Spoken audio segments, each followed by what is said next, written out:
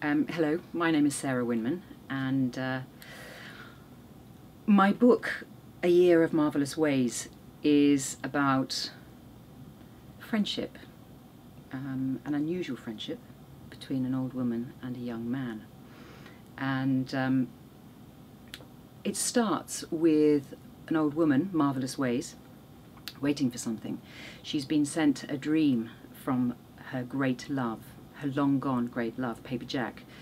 And this dream has told her that basically she can't go anywhere until she uh, waits for this thing that is coming.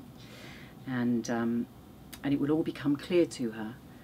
But that's what she seems to spend her days doing. She uh, patrols the creek where she lives and she goes up to a hamlet looking and waiting for something to enter her life.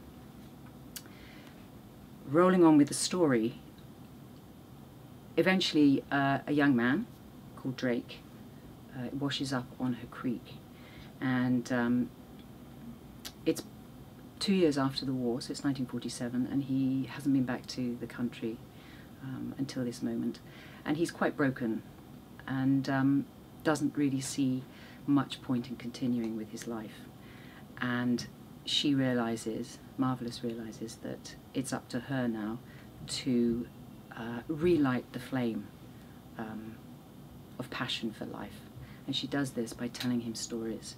And she tells him the story of her life and of her three great loves.